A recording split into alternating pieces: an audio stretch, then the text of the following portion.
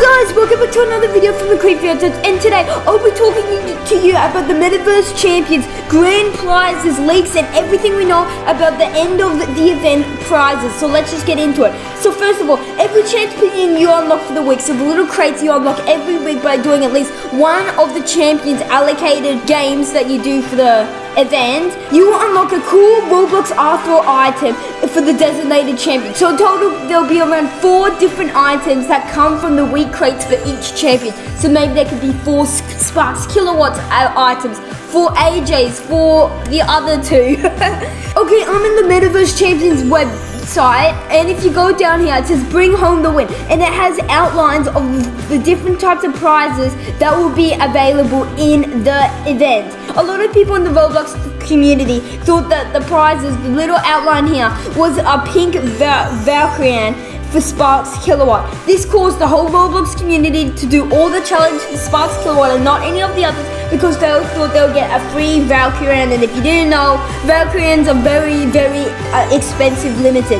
Loads of YouTubers started uploading videos saying, vote Sparks because you'll get a Valkyrian, which caused Sparks votes to go off the roof, which we also talked about in the last video, because all those kids wanted a free Valkyrian.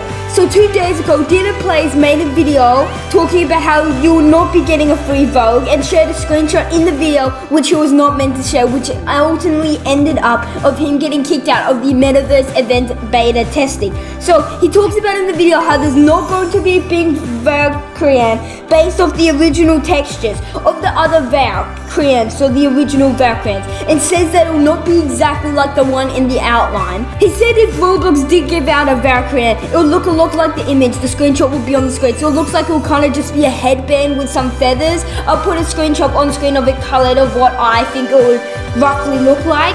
Yeah, so it won't be an exactly pink Valkyrie, but it'll look more something like the image that he shared with us. He also talked about how he highly, highly recommends getting the four different crates. So the dev crate, the star crate, the admin crate, and the MVP crate. I'll put a video up in the top right corner of how to get them, how to get the different crates and the easiest way to get them.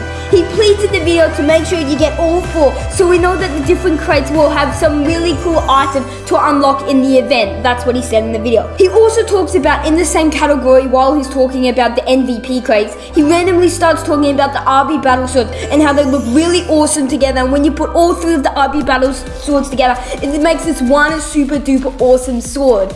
On the subject of talking about the MVP crates and all the admin crates and the star crate, creator crates, and all that sort of stuff. So we know from the dev crates, the star crate, the admin crates, you'll be able to unlock a cool accessory that all of them combined will make this really cool, some kind of avatar accessory like how the RB Battle Swords did because he said get all four of them. So this means the item will look way much more cooler, all four of them together.